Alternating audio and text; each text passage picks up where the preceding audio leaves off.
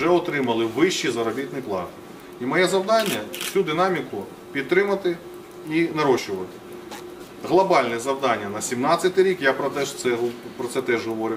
Ми запропонуємо нову модель пенсійної системи, яка буде справедливою і яка призведе до підвищення пенсій для українських громадян. Тому для нас от, важливо рухатись, розвивати економіку. Економіка продукує ресурс, ми його інвестуємо в українців. А якщо хтось мені намагається заважати е, це робити, я завжди аналізую навіщо. І тому такі речі, про які ми сьогодні говорили, де є намагання е, зупинити економічне зростання, я вважаю, що це проти українців.